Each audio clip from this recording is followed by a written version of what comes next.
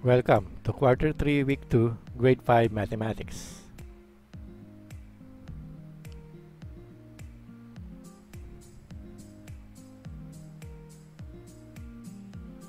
Lesson number 1 Finding the percentage in a given problem. So let's define first what is percentage. So percentage is the result obtained when a number is multiplied by a percent. So let's have an example problem. Mr. Behino has a class of 44 children. 25% are boys. How many boys are there in the class? To answer the problem, you need to follow the steps below. Step 1. Identify the rate, the base in the given problem. Step 2. Transform the problem in equation form. Step 3. Use the formula in finding the percentage. Change the rate to a decimal, then multiply the base. Step 4. Solve. Follow the steps in multiplication.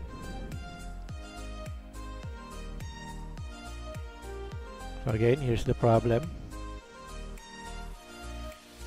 So step 1, identify the rate, the base in the given problem. The rate is 25%.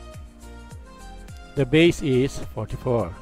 So we are looking for the percentage of the problem. Step 2, transform the problem in equation form. So 44 times 25% is equal to n. Step 3. Use the formula in finding the percentage. Change the rate to a decimal, then multiply the base. P is equal to B times R. So P is equal to 44 times 25 hundredths. Why 25 hundredths? Because this is the decimal of 25 percent. Step 4. Solve. Follow the steps in multiplication. So 44 times 25 hundredths. First, you multiply 44 and 5. So 44 times 5 is 220. Then, you multiply 44 by 2. So 44 times 2 is 88. Add the partial products then considering moving the decimal place two places.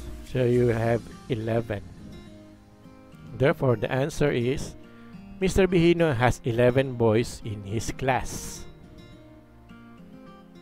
Lesson 2 solve routine and non-routine problems involving percentage.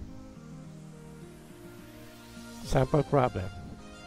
Alisa's daily allowance is 30 pesos if she saves 10% of it, how much can she save daily? To solve routine problems, use these steps. Understand what is asked. The amount Alisa saves daily. What are the given facts? The rate is 10% and the base is 30 pesos. Then plan. What operation will you use? Multiplication. What is the number sentence? N is 10% of 30 pesos. Next is solve. How is the solution done? P is equal to percentage, B is base, and R is rate. P is equal to 30 times 10%. Change 10% to decimal number. So, P is equal to 30 times 10 hundredths. If we multiply 30 times 10 hundredths, P is equal to 3. Next, check and look back. What will you do to check if your answer is correct? We can multiply the base and the rate. We change percent to decimal. So percentage is equal to base times rate or the formula P is equal to B times R. What is the answer to the problem? Therefore, Alisa saves 3 pesos daily. Then we have non-routine problems.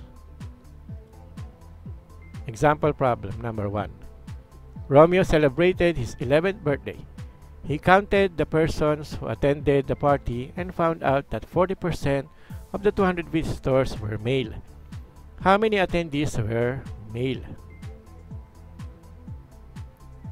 By illustration, 40% can also be represented using these models.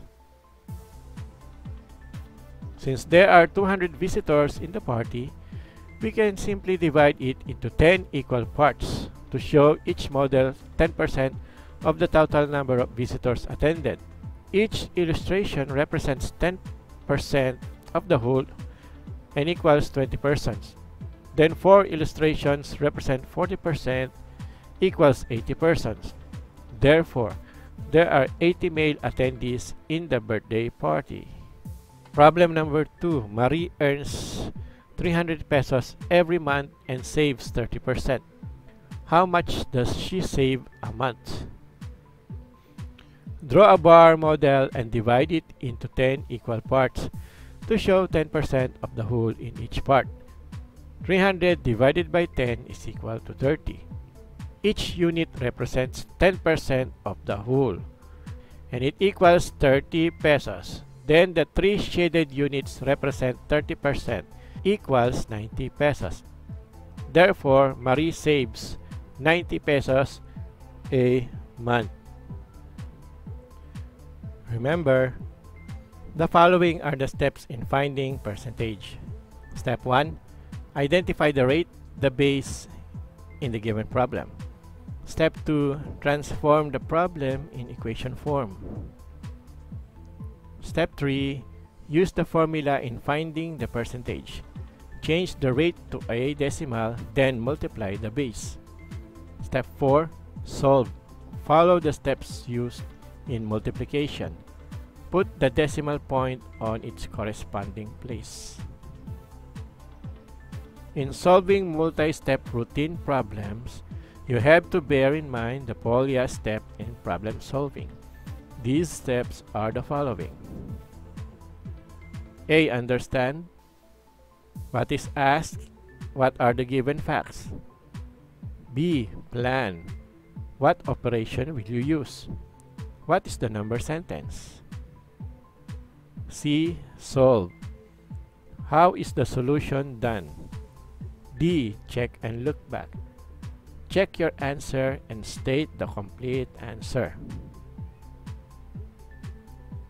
In solving non-routine problems, it can be solved in multiple ways like the following.